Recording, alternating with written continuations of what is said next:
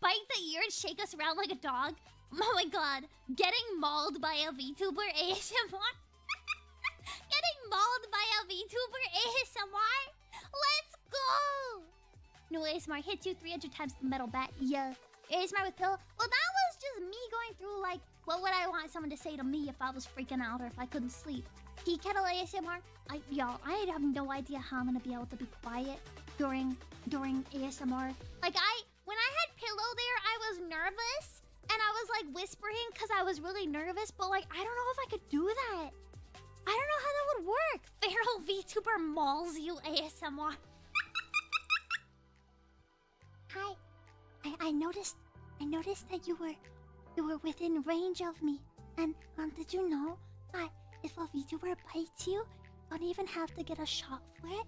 Because the shots are only needed if you live through the encounter. Make sure that that doesn't happen.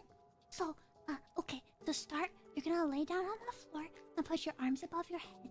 So, you see this vein on your arm? Yeah, so if I rip that out with my teeth, you'll start slowly bleeding to death. And then after that,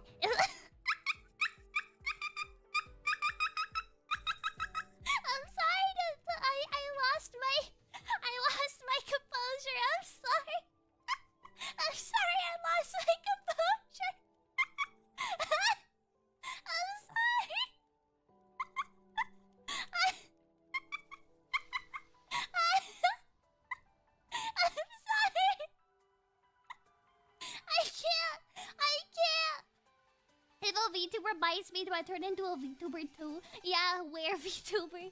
Only on the full moon. so calming, I might fall asleep.